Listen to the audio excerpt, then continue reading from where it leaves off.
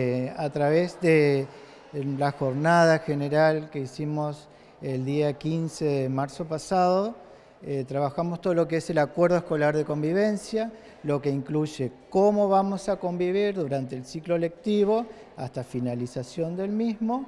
y también incluye el cuidado del inmobiliario, como el cuidado y aseo personal, eh, respeto mutuo entre los mismos alumnos y también los docentes, y tratamos justamente de hacer hincapié en que todo el mobiliario es de todos, porque es público, la escuela es pública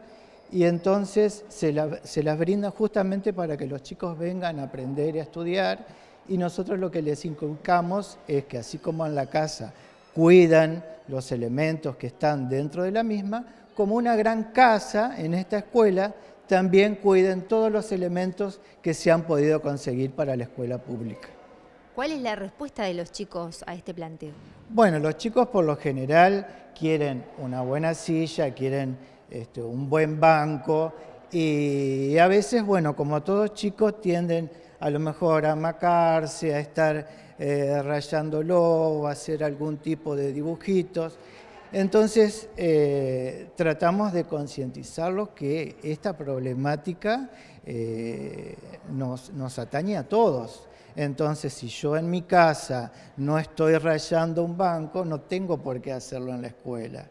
¿no? Este, los chicos toman conciencia, toman conciencia y saben que tienen un tachito para la basura, saben que las paredes cuando están pintadas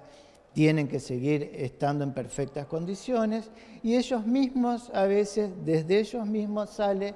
la, necesidad de este, adornar o bien pintar una pared o este, con alguna ficha alusivo y eso también es bueno porque es parte de la educación y es parte del compromiso que tienen los estudiantes con la institución.